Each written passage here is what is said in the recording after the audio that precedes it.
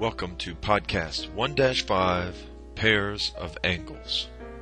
In this lesson, we will be looking at the following pairs of angles adjacent, complementary, supplementary, and vertical.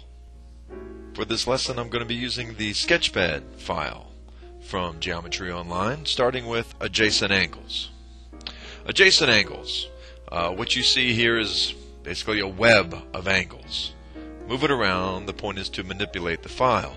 Adjacent angles are angles that share a common vertex and a common side. So we see this angle AQB, we see angle BQC.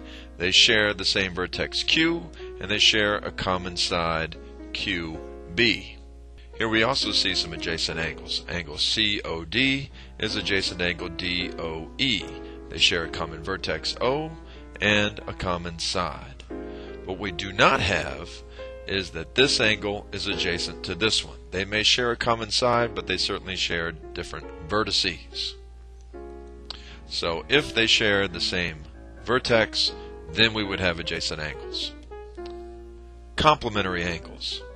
Complementary angles is a pair of angles, not a single angle, whose sum is 90 degrees. So as we see in this diagram, this ray and this ray are perpendicular or forming 90 degrees. So these two angles together must add up to the angle addition postulate, must add up to 90. Doesn't matter what each or how much each angle is, either they're 45 each or some combination that adds up to 90. What is unique though is complementary angles don't have to be adjacent as you see here, they could be separated. We still consider these two angles as complementary because this one, 25 degrees, and this one, 65, still add up to 90. So whether they're separated or they are adjacent, if they add up to 90, we consider them complementary. Supplementary angles. A pair of angles whose sum is 180 degrees. When we have a a straight line that would chop off a circle, creating a semicircle, we would certainly have a 180 degree arc going around. So these two angles must add up to 180 degrees. Again, how much each angle is isn't important as long as their sum is 180 degrees. It's not that a single angle is 180. It has to be two angles whose sum is 180. And once again, these angles could be separated like this. And as long as their sum is 180 degrees, we consider them supplementary. What is unique about this picture is that the two angles actually form a straight line.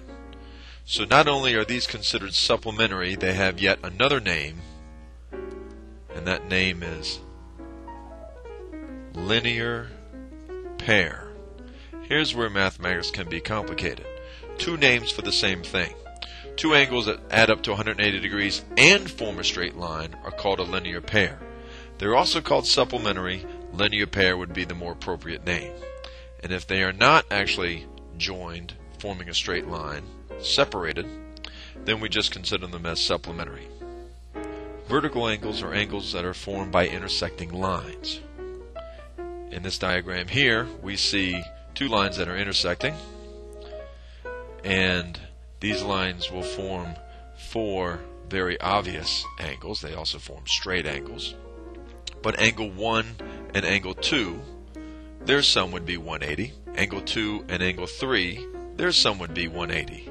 Therefore, by subtracting angle 2 from both of those sums, angle 1 must be the same as angle 3. Hence, vertical angles are angles that are congruent and they are across from each other, formed by intersecting lines. So if angle 1 is the same as angle 3, for the same reasoning, angle 2 would be the same as angle 4. Unfortunately, this name tends to imply the idea that angles are up and down, vertical. Uh, opposite angles is also a very good name for them, but not a name that you will see in textbooks anymore. So now we call them, for some reason, vertical angles. Angles across from each other, formed by intersecting lines, and they are congruent. And that concludes lesson 1 5. Thank you very much.